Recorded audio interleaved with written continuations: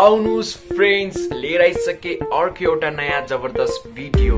र आज म केही कन्फर्म स्पेक्सको बारेमा भन्नेछु जुन तपाईँलाई आउनेवाला गोप्रो हिरो नाइन ब्ल्याकको भित्र डेफिनेटली देख्न पाउनुहुन्छ। सबैभन्दा पहिला यो पालिको गोप्रो हिरो नाइनको भित्र forty one percent larger battery देख्न सकिन्छ। पछिल्लो बारको सबै गोप्रोजको मुकाबलामा। यानि कि जस्तै पछिल्लो बारको गोप्रोमा one thousand two hundred twenty एमएचको battery देख्न पाउँछ भने यो पालि गोप्रो हिरो नाइनको भित्र one thousand seven hundred twenty एमएचको big battery देख्न पाउनुहुन्छ। साथमा यहाँ तपाईँलाई फास्ट चार्जिङको सपोर्ट र युएसबी टाइप सी पोर्ट पनि देख्न सकिन्छ। अब यहाँ लार्जर ब्याट्री किन दिएको भनेर म यो भिडियोको अगाडि गएर भन्नेछु।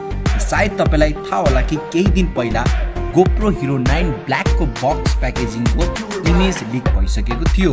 र यो पालि GoPro Hero nine black box packaging तपाईँलाई एकदमै फरक देख्न पाउँछ पछिल्लो बारको तुलनामा। यानि कि गोप्रो एट या हिरो सेभेनको भित्र प्लास्टिक टस देखिन सकिन्छ बक्स प्याकेजिङमा भने यो पालि गोप्रो हिरो नाइनको ब्लक्समा कार्ड बोर्ड फिनिस देख्न सकिन्छ जहाँ प्लास्टिकलाई पुरै नै अभोइड गरिदिएको छ। र यो एकदमै राम्रो कुरा हो। साथमा यहाँ जति पनि इन्फर्मेसन छ जुन तपाईँलाई गोप्रो हिरो नाइनको भित्र पाउँछ त्यो सबै यहाँ क्लियरली पाउँछ। भने स्पेसली मलाई यो पालिको गोप्रो हिरो नाइनको बक्स प्याकेजिङ एकदमै राम्रो लाग्यो। मतलब एकदमै मोडर्न र क्लिन लुक यो पालिकोमा देख्न पाउनुहुन्छ। अब हामी कुरा गर्नेछौँ गोप्रो हिरो नाइन ब्ल्याकको केही फिजिकल चेन्जेसको बारेमा। जुन तपाईँलाई यहाँ देख्न पाउनुहुन्छ यो पालिको गोप्रो हिरो नाइनको भित्र फ्रन्टमा एउटा ठुलो डिस्प्ले देखिन्छ भने सायद तपाईँलाई थाहा होला कि पछिल्लो बारको गोप्रो मा यानि कि गोप्रो हिरो एट या हिरो सेभेनको भित्र सानो डिस्प्ले देखिन्थ्यो जहाँ तपाईँलाई ब्ल्याक एन्ड व्हाइट डिस्प्ले र एकदमै थोरै इन्फर्मेसन देखिन्थ्यो यानि कि त्यसमा खालि टाइम या ब्याट्री पर्सेन्टेज मात्र देख्न सकिन्थ्यो। र यो पालि गोप्रो हिरो नाइन ब्ल्याकको भित्र तपाईँलाई ठुलो डिस्प्लेको साथसाथै कलर डिस्प्ले पनि देख्न पाउनुहुन्छ। यहाँ तपाईँ आफूले आफूलाई पनि देख्न पाउनुहुन्छ यसको डिस्प्लेको थ्रु र यो एकदमै राम्रो फिचर तपाईँलाई यो पालिको गोप्रो हिरो नाइनको भित्र देख्न पाउनुहुन्छ। र मलाई लाग्छ ब्लगरहरूको लागि यो फिचर एकदमै राम्रो हुनेवाला छ। र क्यामेराको पछाडिको कुरा गर्दा भने यो पालि पनि त्यही सेम साइजको डिस्प्ले देख्न सकिन्छ जसरी तपाईँलाई हिरो एटमा देख्न पाउनुहुन्थ्यो। र पावर ब्याक बटनको पोजिसन हल्का चेन्ज भएको छ। साथमा यहाँ पोर्ट्स पनि फरक देख्न सकिन्छ।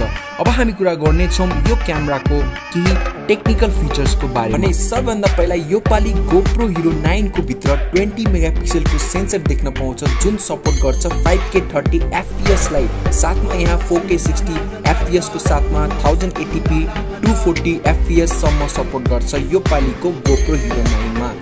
यहाँ स्लोमो सनमा पनि एक अपग्रेडेसन देख्न पाउँछ यानि कि यो पालिको गोप्रो हिरो नाइनको भित्र up to two hundred forty fps slow mode देख्न सकिन्छ यानि कि एट केको स्लो मोड यहाँ पाउँछ। र यो पालि यसको क्यामेराको थ्रु तपाईँ थाउजन्ड एटिपीसम्म लाइभ स्ट्रिमिङ पनि गर्न सक्नुहुन्छ भने अब हामी कुरा गर्नेछौँ यो क्यामेराको केही मेजर चेन्जेसको बारेमा।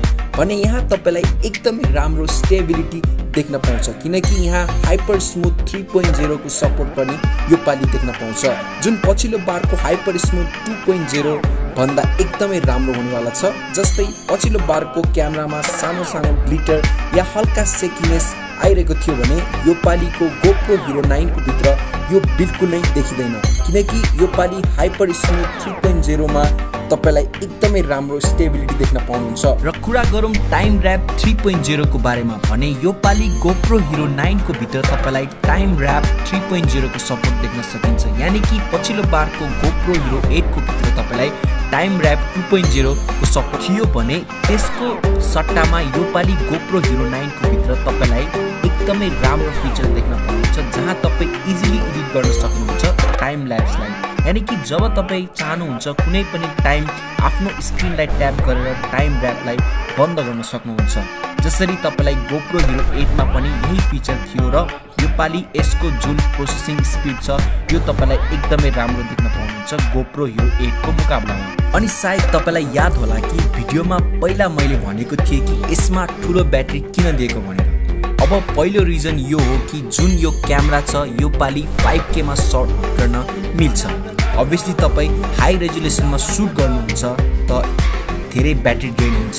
साथमा यदि तपाईँ हाइपर स्मुथ थ्री पोइन्ट जिरोलाई युज गर्नुहुन्छ भने यहाँको जुन स्टेबलाइजेसन एकदमै राम्रो त पाउँछ नै। साथमा यसमा ब्याट्री कन्जम्सन पनि एकदमै धेरै हुन्छ।